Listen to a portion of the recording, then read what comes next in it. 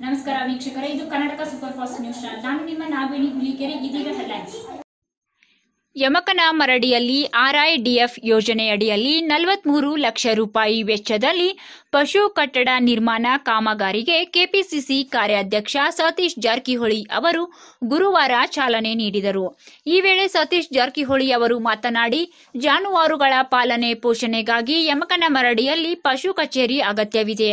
ಹೀಗಾಗಿ ಸುಸಜ್ಜಿತವಾದ ಕಟ್ಟಡ ನಿರ್ಮಾಣಕ್ಕೆ ಶಂಕುಸ್ಥಾಪನೆ ನೆರವೇರಿಸಲಾಗಿದೆ ಎಂದರು.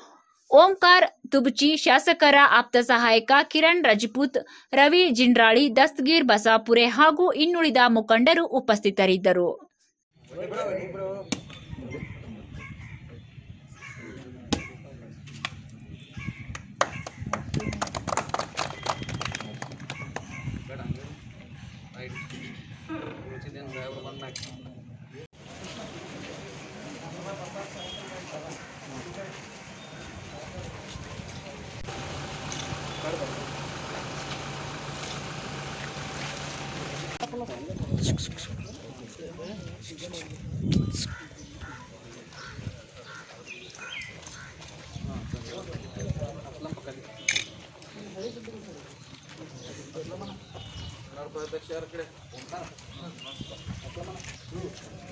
ಕಟ